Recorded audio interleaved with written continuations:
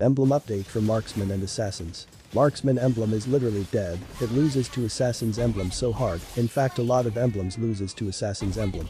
Attack speed and flat pen are just inputs, with attack speed input your hero will be faster, but deals lower damage per hit. With flat pen input your hero will have higher damage per hit, but slower attack speed. The question is, how do we know which is better?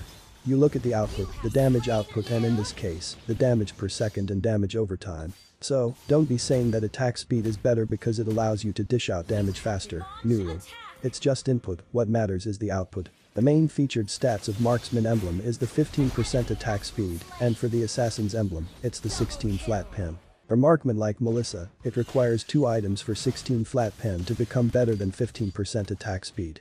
I was surprised too because I expected the pen to be better in the early game. However when the battle spell Inspire is activated even with no items the assassin emblem and its 16 flat pen produce higher damage output.